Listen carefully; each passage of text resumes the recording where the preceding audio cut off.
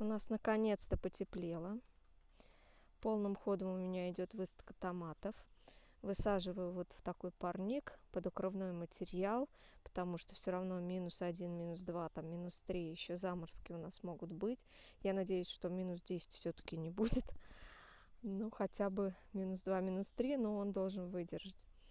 Высаживаю вот эту вот грядку в два ряда центральную и еще будут вот так вот по одному ряду, и потому что если два ряда, то тут ходить негде будет. Вот, ну я уже об этом рассказывала где-то. Высадила вот э, две агрофирмы, Аэлиту и Сибирский сад. Что хочу сказать. Все томаты, э, в принципе, хорошего качества. То есть корневая отличная. Некоторые вот уже на цвету, причем так уже так хорошо прям цветут. Вот, некоторые чуть меньше, некоторые побольше. Вот смотрите, здесь вот большой такой контраст, потому что как раз вот такой вот маленький совсем томатик. И вот рядом с ним такой огромный. Это сибирский сад. Вот у них есть 6 э, сортов, которые без названия. Вот они идут по номерам 1, 2, 3, 4, 5 и 6. Вот третий сорт вот такой вот маленький. Четвертый вот такой вот. Вот он четвертый, огромный. Вот. Первый и второй такие средненькие.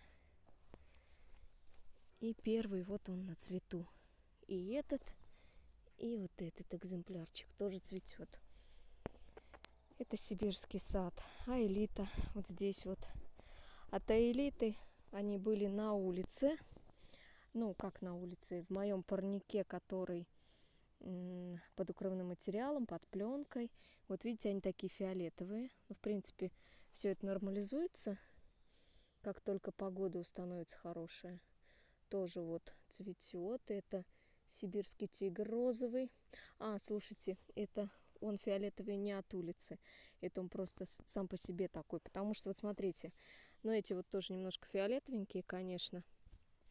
Но вот это вот сильная такая окраска, это все-таки сорт. Такой сорт. Сибирский тигр розовый. Он будет такой немножко с розовинкой. Вот, а это гигант Подмосковья. Тоже 4 штуки. Тоже крупные такие томаты должны быть. Тоже вот он уже цветет.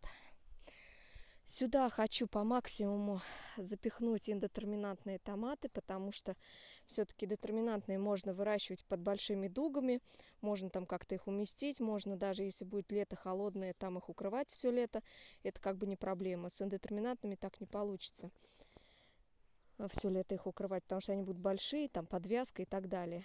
Но вот эти вот, не подумав, детерминантные уже а элитовские сюда посадила. Ну ладно уж, выдергивать не буду, конечно. Буду надеяться, что умещу все остальные. Вот. А так, сюда запихиваю все по максимуму и на терминантные, а детерминантные на улицу.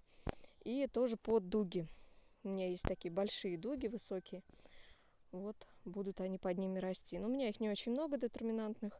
В основном, всем известно, что у нас в основном сейчас инотерминантные сорта. Ну, в общем, продолжаю высадку.